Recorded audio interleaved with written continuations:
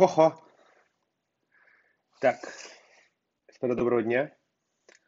Мы пока что немножко собираемся. Мы пока что немножко собираемся. Да, и того. Господа, чего же нам ждать от Рошана? Буквально завтра вечером начнется Рошана. День суда, день, когда небеса всем верховным судом сядут вершить, что же грядет в мир. В контексте продолжающейся эпидемии это повышает значимость, повышает вообще всего, чего нам стоит ждать.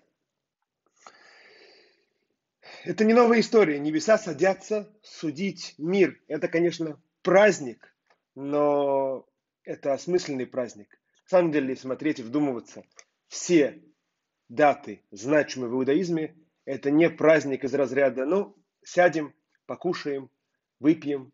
В этом есть куда больше, ну, такого настоящего значения. Так и Рошана.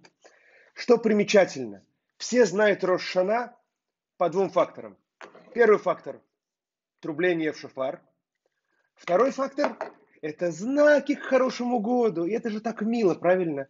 Это так мило. Знаки к хорошему году. Все их знают.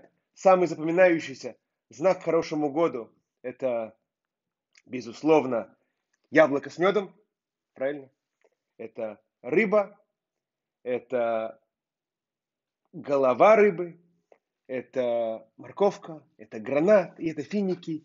И вот все эти знаки, их неуместность на первый взгляд к такому академичному иудаизму очень бросается в глаза. Иудаизм, он же как? Он же, знаете, там от Талмудов, книг, всего, учености. А тут милые знаки. Это же, это же необычно.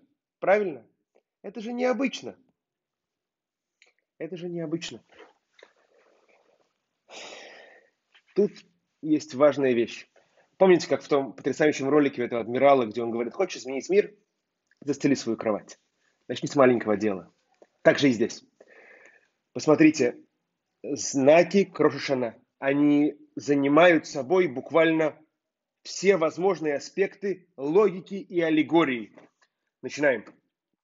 Яблоко с медом. Мы берем яблоко с медом и говорим, чтобы у нас был хороший сладкий год.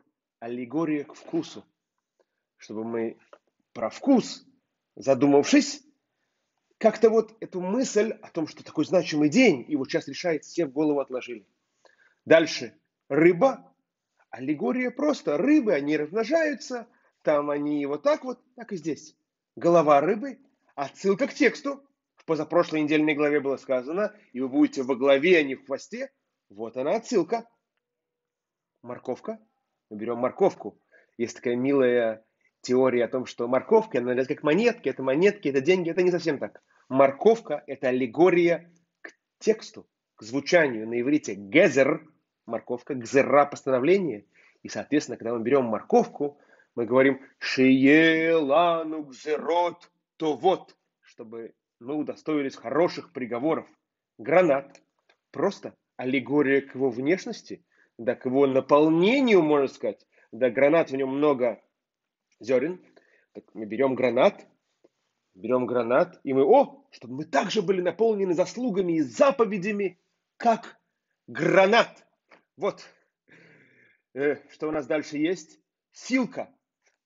Это ботва от, э, от э, свеклы. Да, мы говорим шейсалку и вейну, чтобы отделились, убрались наши враги. Соответственно, наоборот, кстати, то, что мы не едим в мы не едим в орехи, потому что цифровое значение орех, эгос, равно цифровому значению слова грех. То есть, видите, отсылка и к цифровым значениям. Дальше виноград. Мы не едим виноград. Тут интересно. И это тоже очень поучительно. Мы не едим виноград. Почему? Ха, все это привыкли думать, что тот самый плод, который когда-то скушал Адам первый человек и Хава первая женщина, это было яблоко, мы так привыкли думать. Только это ни грамма нет яблока, и тому нету ни одной отсылки, одна косвенная из комментария Раши, но это очень косвенно. В реальности ни одной отсылки. Наши мудрецы Они разделились в мнениях. Кто-то из них говорит, что это была пшеница, и, вероятно, не совсем так, к которой мы привыкли. Кто-то из них говорит, что это был гранат. В общем, и так вот длинный спектр. Но при этом мейнстримное мнение о том, мейнстримное мнение, что же был то за плод? Виноград. Виноград, понимаете, опять день суда, опять тот самый плод, опять первое преступление. Не лучшее напоминание к дню суда. И поэтому в Рошана мы не едим виноград. Кстати, именно поэтому бокала вдалы, когда мы разделяем между святым и будничным неделю, принято, что от бокала Авдалы мужчины пьют, а женщины не пьют. Почему не пьют? Потому что, ага, опять, опять женщина, опять конец субботы, когда вот было преступление, это вот первое. И вот и опять то же самое все, поэтому традиционно женщина этого бокала не пьет. Видите, как вот все аллегории собираются для того, чтобы мы их вместе собрали и задумались. Даже суть шофара, она не столько в услышать трубление, то есть да, конечно, заповедь услышать трубление, но суть этой заповеди услышать трубление, она в том, чтобы мы почувствовали необходимость раскаяться. Мы еще раз вдумались, чтобы мы определили себя, что другого пути, другого хозяина у мира просто не существует. Просто не существует. И это вот Рошана. Я хочу поделиться с вами двумя очень важными моментами. Первый момент, ведь все-таки суть Рошана это по итогу, это молитва.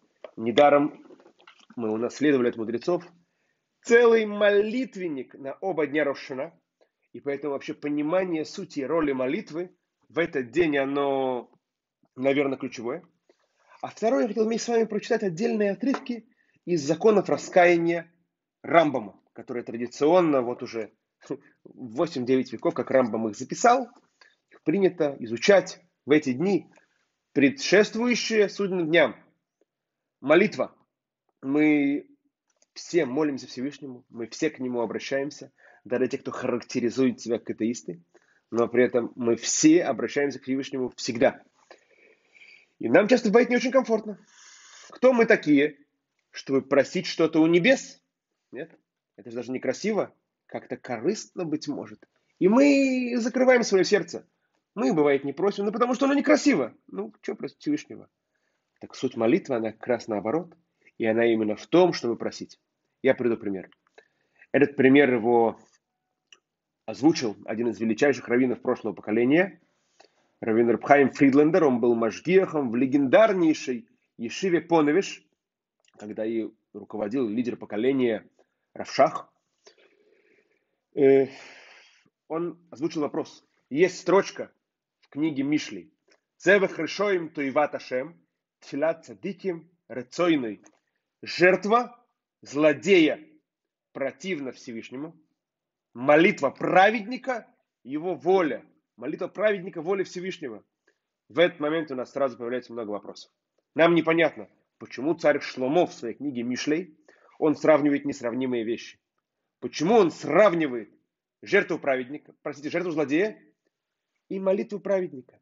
И чем ему так не нравится жертва злодея? Он хоть что-то принес. Ну, хоть что-то принес, хоть что-то. Это хоть, ну, как, хоть что-то. Почему нет? Он разъясняет. Талмуд спрашивает, как понимать строчку? Ула авдобы колле вавхем. Служить ему, Всевышнему, всем сердцем. Между прочим, эту строчку мы говорим два раза в день. Мы говорим ее утром, и мы говорим ее вечером во время шма. Талмуд говорит, лавдобы коллавхем, как, то есть служите ему всем сердцем своим. Талмуд говорит, служба сердцем – это молитва. Но вот только это чуть странно, потому что у лавдо корень слова эвет, эвет – это раб. У раба нету ничего своего. Шел-шел, раб что-то нашел. Это что-то, оно принадлежит хозяину, оно не принадлежит его, у него нет ничего своего. Почему молитва, она сравнивается с рабом, у которого нет ничего своего? К тому же ведь в молитве как происходит? Мы приходим к Всевышнему, на самом деле же с длинным списком просьб. Приходим, говорим, Всевышний, дай, пожалуйста, здоровье, машину, квартиру, там, там бам, бам, бам, бам, длинный, длинный список, мы просим Всевышнего. Где связь между этим и между рабом? Это же наоборот.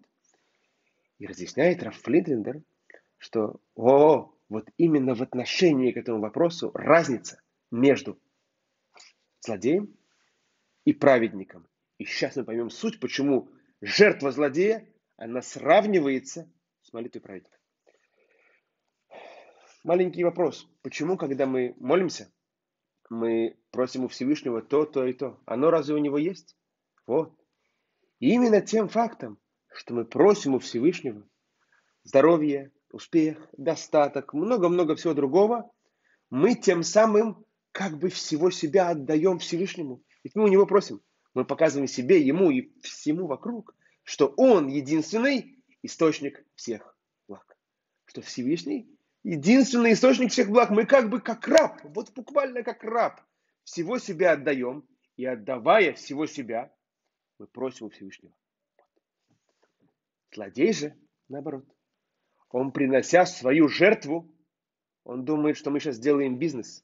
Я что-то дам, что-то получу. Он не отдает себя. Он думает, что он может купить. Он думает, что он может стать компаньоном. Он, наоборот, пытается Творца опустить сверху вниз, ведя с ним диалог на понятном ему языке. На языке равных, мол, я же такой бизнесмен, а он там это тоже. Так вот, весь этот подход, он разрушителен, он Всевышний, он э, противный Всевышнему. И, соответственно, такой диалог, он никуда не уйдет. А что воля Всевышнего? Воля Всевышнего – это молитва праведника. Для этого не нужно быть каким-то гройсе цадик, каким-то огромным праведником. Нужно просто понимать правильную расстановку ситуации. Ты не можешь требовать. Ты можешь просить. И почему ты просишь? Потому что все у Всевышнего, а у тебя ничего. Ведь то же самое сказано даже про милостыню. Дай ему от твоего. Ведь и ты, и все твое, оно все равно, все, все его, оно к тебе временно, временно пришло. И это важная мысль, которую каждому нужно поместить свою голову в Рожешана, в Йом-Кипурим, да и вообще весь год, что все, что у нас есть от Всевышнего. И когда мы просим у Всевышнего, это правильно, потому что тем, что мы просим, мы показываем, что все происходящее, хозяин и источник всего, это Он. Это Всевышний. Это потрясающая вещь. Это потрясающая вещь. Вы берете строки молитвы, молитвенники. Тоже представьте, вы открываете его, и вы видите, что эти слова, они составлены не 100, не 200, не 300 лет, а куда больше лет. И много-много веков. Этими словами евреи обращались к Творцу столько поколений, сколько и не представить. Действительно, в этих словах есть разум, в них есть, ну не знаю, настойность веков. Но главная суть того, это чтобы в нашем сердце произошли изменения, чтобы мы оценили, что мы делали неверно, чтобы мы, смотря в зеркало на себя и честно разговаривая с собой, убрали бы, убрали бы. И вот оценив все это, мы должны прийти к правильному выбору. И от него зависит наша жизнь, наша весь на следующий год. Вероятно, все, для всех последние два года они были не лучшими. Или наоборот, они привели нас к многим выводам, осмыслениям. Э, ведь это для нас пришло в конце концов. Маленький пример про то, что все происходящее, оно имеет большой смысл. Я, ну так случилось, никогда ничего, ни руки, ни ноги не ломал, не вывихивал. Один раз, когда я учился в Ешиве, мне было 22, я спускался по ступенькам, вывихнул ногу. И я две недели, так знаете, так на одной ноге прыгал, ну, потому что не мог нормально ходить. И вот я спускаюсь в Ешиву, я так на одной ноге так хоп, хоп, хоп, прыгаю. И все 400 ребят Ешиве такие, они на меня так хоп, смотрят такие, как хоп, хоп, прыгаю. А мне некомфортно, мне неудобно, они вот на меня смотрят. И мне было очень грустно, потому что вот они смотрят, вот это опаздывает, там, вот это то, вот и все. И мне это было очень неприятно. И в этот момент я задал себе вопрос, секундочку, тебе спасибо в голову Всевышнему пришло сказать за то, что ты 20 лет ничего не ломал, ничего не вывихивал, не пришло, вот теперь самое время сказать это спасибо. Если наш разум сам до этого не доходит, то небеса нам присылают напоминание, чтобы мы к этому сами пришли. И это важная вещь. Это очень важная вещь. Действительно. То есть все происходящее, приходящее в наш мир, оно не для кого-то, оно для нас. Любая ситуация. Нету случайности в этом мире. Даже более того, я приду пример из другого. Бывает, что человеку приходит какой-то ущерб. Финансовый, эмоциональный. Любой другой человек, который приходит человеку, приходит человеку. Представьте, есть правило, по которому человеку не может прийти ущерб без того, чтобы небеса этот приговор озвучили и ему подписали. Не может быть, чтобы мне наступили на ногу, чтобы мне украли монетку, без того, чтобы небеса это одобрили. Но секундочку, а тот, кто это делает, это же его выбор между ну, нанести кому-то ущерб или нет. Это он берет на себя это преступление. Так небеса, они работают так, подставляя человека, который в этот момент готов сорваться и делать преступление, к тому, кому оно в этот момент полагается. Это чтобы мы попытались вообще вдуматься в глобальность, в колоссальность Вселенной, созданной Всевышним. И это потрясающе. Это потрясающе. Передо мной сейчас Рамбам, закон раскаяния. В концепции Рамбама, скорее вся суть Рошана, она именно в раскаянии. В меньшей мере шафар, в меньшей мере все остальное. Уж точно, уж точно суть она не в красивых знаках для Рошана, а она только в раскаянии, чтобы мы почувствовали, что в этот момент небеса, они нас судят, определяют. Я открою, я открою эту главу, где Рамбам рассказывает про суд, который нас, про суд, который нас ждет. Это третья глава Рамбама, законы раскаяния. Коли хадвы хативный адам, ешло схует ваванот. У каждого из людей, у него есть заслуги и преступления. Как же так у каждого? Как так может быть? Что? Да, да, у каждого. И более того, тут есть другая яркая вещь, которую я бы хотел отметить. Нам всегда хочется верить, что есть большие святые люди, у которых все четко, им все понятно, им истина, она открыта, они идут своим прямым путем, и у них все идеально. Это и так, и не совсем так.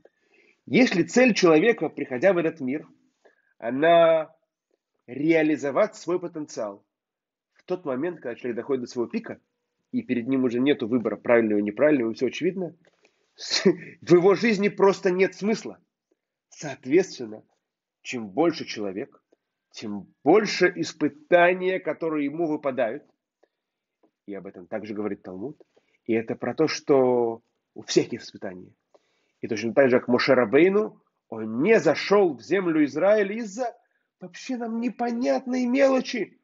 Но для того, что от него ожидали небеса, это было ни грамма, ни мелочь, это была большая значимая вещь. У каждого есть его выбор правильный и неправильный, и наша ответственность в этом мире сделать как можно больше правильного выбора. Теперь, другой потрясающий момент, человек же спрашивают не по количеству его заповедей и преступлений, с него спрашивают по процентному соотношению реализованного потенциала. Есть простой человек, какой-нибудь, не знаю, историю расскажу. Ее все, наверное, слышали, но каждое ее упоминание, оно, возможно, уместно. Какой-то праведник, магит, который ходит по местам, рассказывает, э, рассказывает им агитационно, агитационные речи к праздникам, пришел какое-то место, и он э, перед ними говорил, они его выслушали. Простой человек, какой-то мясник, к нему подбегает, говорит, Ребе, не умею молиться. У меня есть молитвенник, я его беру утром, открываю, весь полностью прочитываю, и дальше иду работать. Помогите, где как. Кто-то говорит, ну вот смотри, тут закладочка, это утречком, вот тут закладочка. Это вечером, это днем, это в шаббат. Тут положил, довольный, и теперь буду сдать их молиться. Прекрасно. Принес молитвенник, унес домой. Его пожилой отец, он плохо видит, он за своим отцом ухаживает. Проходил там, э, задел Сидур, Сидур упал, рассыпался, все закладочки разлетелись. Этот человек такой, а что делать? Побежал догонять того праведника, бежит за ним. Только тоже ушел, там речка. Он такой смотрел по сторонам, никого нету, сам клеточку вытащил, расстелил, встал на нее, переплыл речку. Этот человек добегает, как же, что делать? Э, тоже взял какую-то бумажку, простелил, встал на нее, переплыл речку. Тут уже далеко ушел, там какой-то овраг. То же самое, тут тоже через этот овраг перебрался. Кричит ему, Магит, Ребе! Догоняет его. Этот поворачивается, смотрит. Овраг, речка. Этот простой человек, который не знает, как молиться вообще, да. Э, с Сидуром таким, как молиться? В закладочке где? Положите, что куда как. Тут такой смотрит на него. А, а вы это, как молились, так и молитесь дальше. Это я про что говорю. Наш мир, он мир лжи. Человек может казаться большим праведником. В реальности кто знает, где его место наверху. Человек может казаться абсолютно простым, невзрачным человеком. Кто знает, быть может, его место буквально одесную от Мошарабейну. Кто знает? Кто знает? Да, мы продолжаем. Итого, у каждого человека есть заповеди и преступления, которые он сделал. Теперь, как проходит сам суд? Миша схуютов етерот аль авнотав цадик. Тот, чьи заслуги превышают преступление, он праведник. И в этот момент нам очень странно, почему Рамбам так говорит. Что? У человека 60% заслуг, 40% преступлений. Это называется праведник. Он день ест сало, день ест мацу. Нет, простите. День сала, два дня мацу. Это нормально? Что? Что? Миша Авонотав, Етерот Альцхуетав, Раша. Тот, чьи преступления больше, чем заслуги, он злодей. Что? То есть, как бы вот так вот? То есть, что буквально 49% и 51%? Что ли? На самом деле, не все так просто. Но это поверхностно. Дальше Рамбам говорит другую потрясающую вещь. Что получается? Не судится не только человек, а судится шире. Векен гамидина. Им гаю схует коль йошве мирубим альванутейм, грейзу цудекет. И также страна. Это страны, получается, которые судятся. Если заслуги стран больше, чем их преступление, она оценивается как праведное, и ей приходит добро, если же наоборот, им гаю аванутеем мирубим рейзу рашат. А если преступление жителей этой страны, они больше, чем их заслуги, то получается злодейская страна. Векен коле улам куло. И также весь, весь мир также судится. Теперь интересно, Рамбам в этом плане про то, что судятся люди, страны и весь мир, он совсем не голословен. Он дальше приводит четкую аргументацию, откуда он это взял. Адам шаванутав мирубим аль миядгу медберешо. Теперь дальше интересная фраза, которую хорошо бы понять. Да? Человек, чьи преступления больше, чем его заслуги, миядгу медберешо написано, сразу он погибает в своем злодействе. Но мы видим на улице много нехороших людей, которые продолжают жить. Что это значит? Понимание такое, что в этот момент сразу же им выносится приговор плохой, приговор отбирающий, лишающих их разных возможностей, и это значит медберешо. То есть им выносится тяжкий приговор, их лишают возможности для роста, их решают здоровье, их решают ресурсов, их решают многих других возможностей и благ, которые есть в этом мире.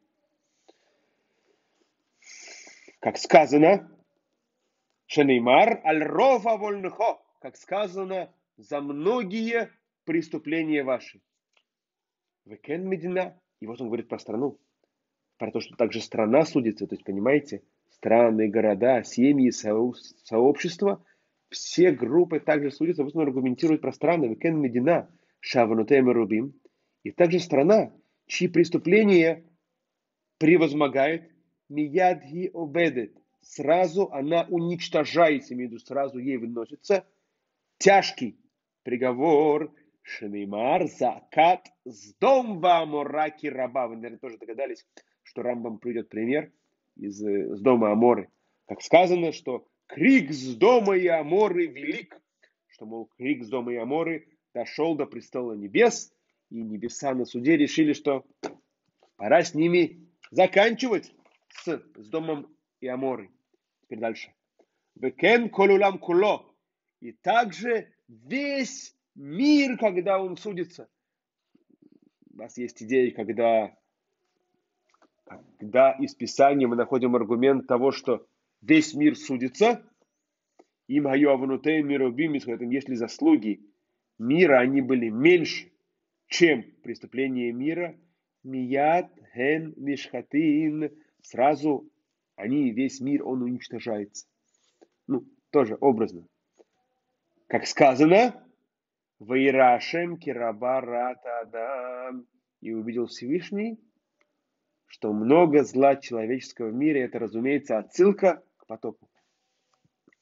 Теперь, вышкульзе эйно лефиминьяна схует вавнот эле гдулам. Теперь, и этот расчет, он не про количество преступлений или заповедей, а он про их вес. Ешь схует, шеги, кенегит камавонот. Есть заслуга, которая равная многим преступлениям. Шинимар, ен немца бодовартов. Как сказано, посмотрим, может таки найдем в нем что-то хорошее, какую-то заповедь, что эта заповедь, она будет весом, как много, как много преступлений. Веешь авоншу кенегит кама схует. А есть преступление, которое своей тяжестью, оно больше, чем многие заповеди. Как сказано, в хоте хад абет товарбе, согрешивший раз, потеряет добра много. В эйн шоклим эйле бедато шель кель деот. И кто взвешивает? Только Всевышний, единственный тот, кто может взвешивать все это объективно, ведь только ему это все известно. И он, единственный, знает, как взвешивать и оценивать заповеди и преступления. Потрясающий пример. Мне кажется, он очень поучителен. Когда я только начинал учить Тору, кто-то из моих коллег заканчивал какой-то трактат Талмуда, и мне сказали, вот это очень важно, участвовать в заповеди, в трапезе заповеди, когда заканчивают изучение Талмуда, там накрывается стол, садятся, кушают. И каждый, кто участвует в трапезе, завершении изучения трактата Талмуда, ему небеса дают заслугу, как будто бы он выучил весь Талмуд. Я не понял логику. Человек мучился, учился, много времени потратил, чтобы выучить трактат Талмуда.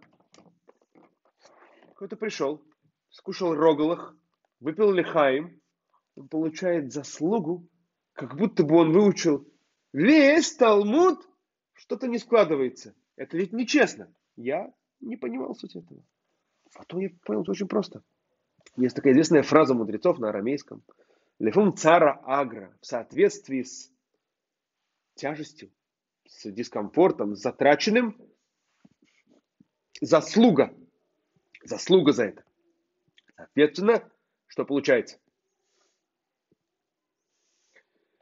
Тот, кто изучил этот самый трактат Талмуда. Скажем, изучить трактат Талмуда – это заслуга размером x. Она умножена на y. y – это все то время, все эти силы, которые он потратил на это изучение.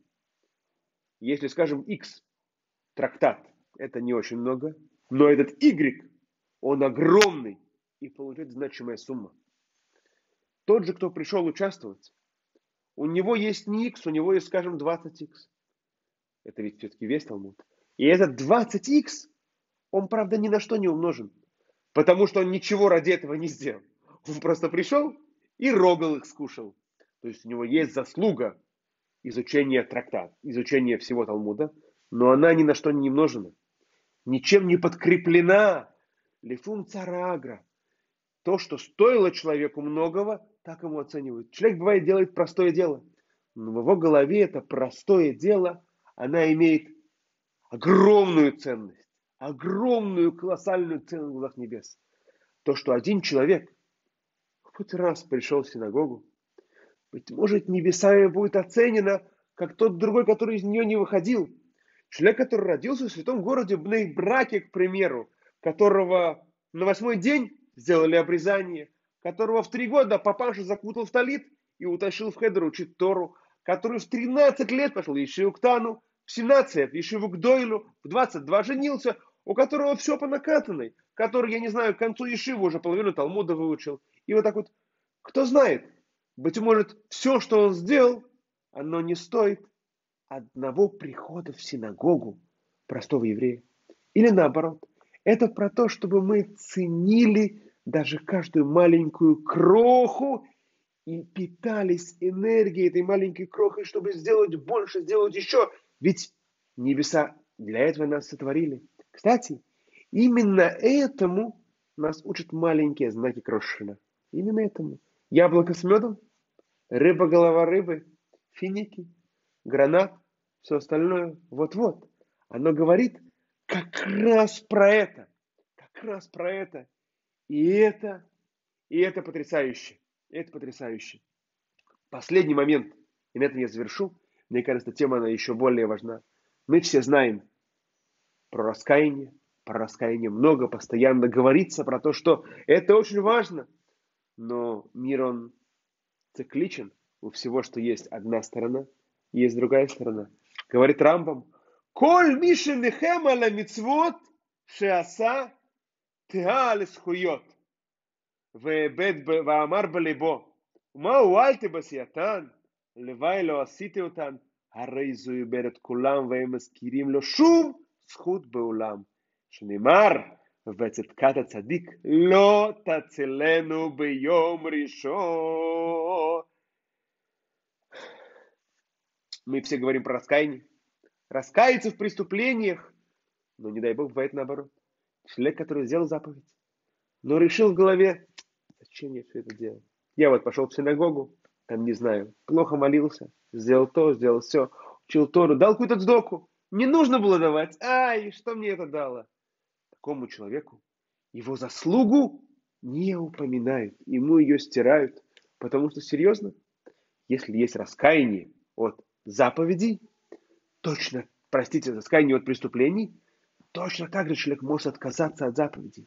И поэтому все наши мысли в Рошана, они должны быть сосредоточены на том, как отказаться от своих неправильных привычек, неправильных помыслов и как не растерять те заслуги, которые мы собрали для того, чтобы удостоиться хорошего, светлого года, осмысленного года, полного заслуг. Вот чего я всем желаю. Ктива Хасима Това, господа. Всего самого доброго.